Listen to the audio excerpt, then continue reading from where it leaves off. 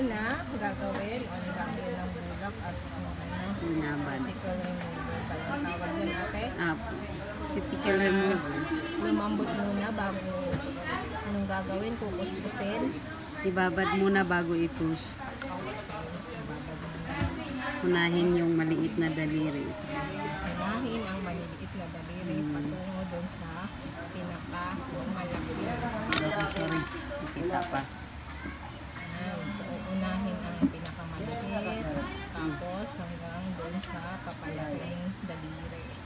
At dahan-dahan ang pagpupush para ah, hindi masakit. At syempre, medyo magaan ang kamay ni ate. eh. Halos di ko maramdaman.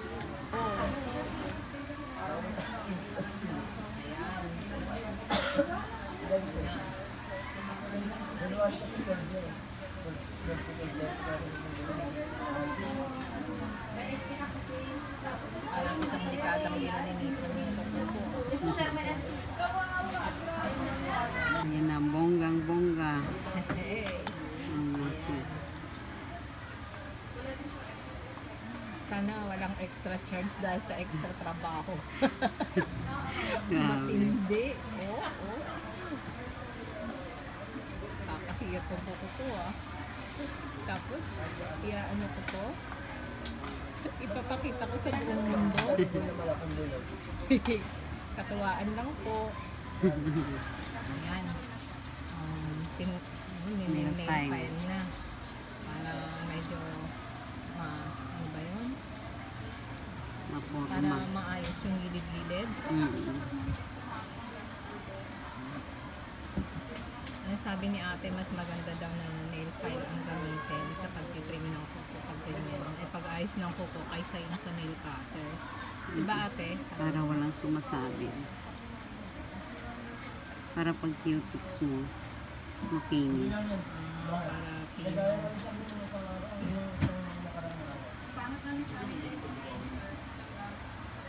Kasi pag walang nail buffer, ito na Ano ginagawa. yun? Nail? Buffer. Ano yung nail buffer? Ah, pampakinis ng kuko bago applyan ng cutics. Pang high-end lang yun. Ah, Pang mayaman lang ba yun? Pwede Mga naman. na ano. Pang salon. Yun sa mga salon. Eh, sa tabi-tabi lang naman tayo. Huwag na tayo, ano, huwag na tayo magtangad ng nail buffer. Ano, nail buffer? Nail buffer. na yan, huwag na. Ayan na lang. Tabi-tabi lang naman kami ano, eh. Nilagyan na na, nilagyan na ng martiolet. Sa kabilang iskinita lang kami gumagawa.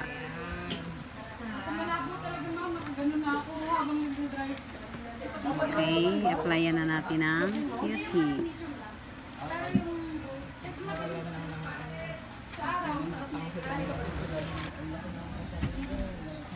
so yung sa second ah, coating niya, yan na, ina-applyan ulit ng cutex para mas maging matibay siya. Ayan, dapat yung sa dulo naka, ano, naka, nakasilyo siya. naka ano ate? Nakasilyo. Oh, okay, para, Para hindi- nakasilyo siya sa dulo. Mm, para hindi ka agad matanggal. Ayun, Kasi may technique pala yun. Kung pinasok ng tubig, una siyang Ay, pag so pag hindi naka Mm. parang kumbaga sealed na ganun. Mm. Pag pinasok ng tubig, madaling matanggal Madaling ang cu- mababa. yung cutics niya. Ayan. Ayun, may technique pala, may natutuhan tayo.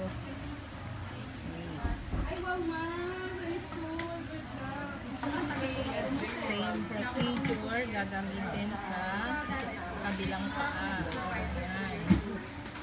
Ayan ang pag-design niya, para kumintab. para kumintab. At ano yan, last coating na yan ate. Apo. Pag gustong mabilis, madaling matuyo, Mm-mm. nilalagyan ng, ano ba yung nilalagay na? Ah, quick dry. Ah, yung quick dry. Pag ano, ganyan din. Parang nag-cutex din lang. Mm. Nilalagyan ng Kailangan lang, ingat lang sa pag-apply kasi maghawa yung kulay. Ah, Kailangan lang, gaanan mo lang pag apply ang hindi pwede kung ano-anong direction pala yun Opo. kasi yung Makahawa direction mo, isunod na lang. masisira yung design niya. Mm-mm. Ayun. Yan. Yan. Ayos.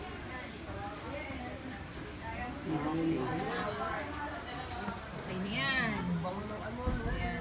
Optional na lang yung paglalagay ng quick dry. Yung, yung quick dry parang ano din yun, cutics din lang yun. Ipapatak lang. Pina, ah, pinapatak lang yun ate, no? Parang oil lang. Sample nga, isa. Wala ako. Wala akong dala dito. Asan na ba yung ano? Ay, wala. Wala. Naubos na. Naubos ang ano. O sige, okay na yun. Basta parang oil lang yun na Mm-mm. pinapatak. Lang siya. Ayan. Ayun.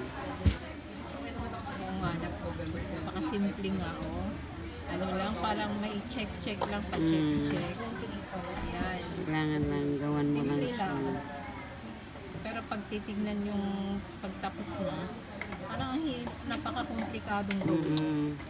Pero ang totoo, Totoo ay ano lang, ano lang siya. Tsaka cutic lang, cutics lang rin ang ginamit. Wala silang pang design, di cutics lang din. Para, yung mm Gamitan mo lang para paraan lang para, normal na paraan lang ng pagtitip. mm para, kasi mas maganda nga ang cutics i-design, matibay siya. Kaysa sa ano,